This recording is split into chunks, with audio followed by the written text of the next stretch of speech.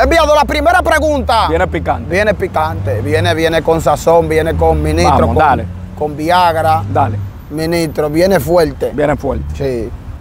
¿Qué significa la palabra política? Ay, ya coño. que no podemos discriminar o quitar la palabra política, aunque tú Según no se- con la política. Según el significado. claro, según el significado. Según la palabra política, lo que nosotros investigamos, locura, la palabra política surge de los griegos. Sí, sí, de los griegos. Los griegos, según lo que yo investigué, vivían en ciudades que para aquel entonces le llamaban poli. Poli.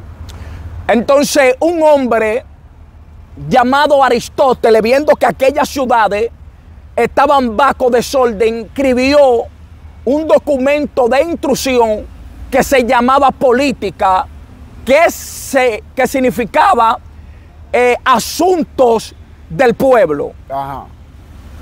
Por lo político, también investigué, son personas que son representantes del pueblo, como ya todos sabemos, son personas Exacto. que son elegidas y escogidas por el pueblo para que se ocupe de los asuntos y de los problemas del pueblo, sea en una provincia que haya, eh, se necesita una calle, usted ve que la gente le reclame a los políticos, se necesita un túnel, se necesita una avenida, hay verdad. mucha delincuencia, se necesitan militares, se necesita eh, destacamento, eh, Sí. eh, se necesita cárceles. Cárceles. Ve, Para eso es que están los políticos, para ocuparse de los asuntos De la- del pueblo. del También pueblo. investigué que los políticos están para generar las condiciones para que las personas puedan así buscar la felicidad. Cuando hablamos de generar las condiciones, estamos hablando de generar empleo, hacer, eh, hacer escuela, etcétera. Para eso es que están los políticos, para ocuparse eh, por los problemas o los asuntos del pueblo.